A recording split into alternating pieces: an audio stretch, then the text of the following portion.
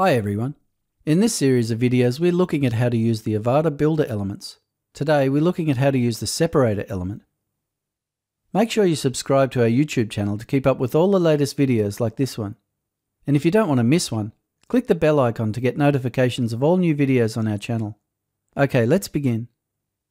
The separator element is a much used and versatile element to provide separation in your design, and it comes with a range of styles. There is also a no style option for using it as a spacing control element, but in most cases margin controls are a better option for this. Let's have a look at the music demo to see how it has been used here. If I scroll down past the top slider, the first container has a separator right at the top. Let's edit this separator to look at the options. In the General tab, the main option is the style. Here you can choose from default, no style, single border solid, double border solid, single border dashed, double border dashed, single border dotted, double border dotted, and shadow. This particular separator is using the single border solid style.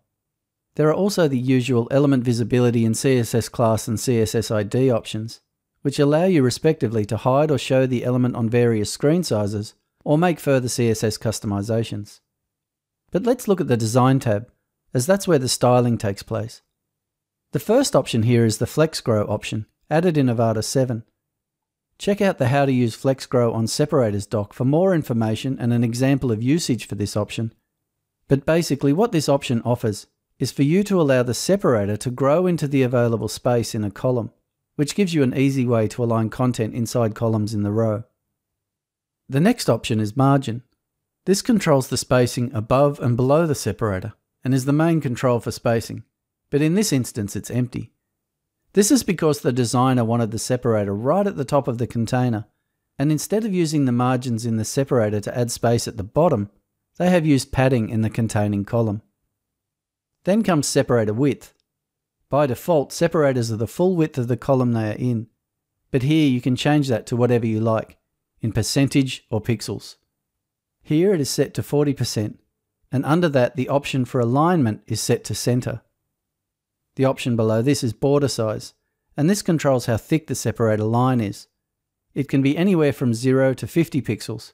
Here it's at 16 pixels to create that nice fat line. After this is an option for the separator color, where you can choose any color you like for your separator. Obviously, if you choose no style, no color will show, as no style is designed to be used for spacing control when necessary, whereas the other styles are for both visual separation and spacing control. Select icon as the next option, and here you can choose an icon to show in the middle of the separator. I will just customize this separator to show how this works. First up, I will adjust the margin to move this separator off the top of the container, and I'll change the border size back to 3 pixels. So now I can choose my icon, and I will just search for drum and choose this first one. The next option controls the icon size.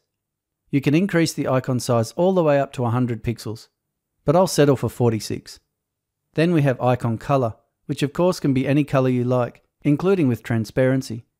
This will fall back to the separator color if no color is set here or in the global options, but I might override it to be white here. The next option, circled icon, allows you to choose if you want a circle around the icon or not. The default here is yes and the option below this allows you to control the color inside that circle. By default it's transparent, but it can of course be any color.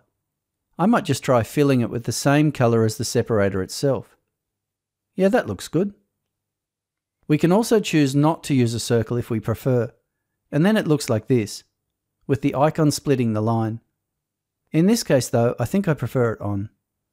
Just below this separator we can see another one, Titles also include a separator option, but this one is an instance of the separator element.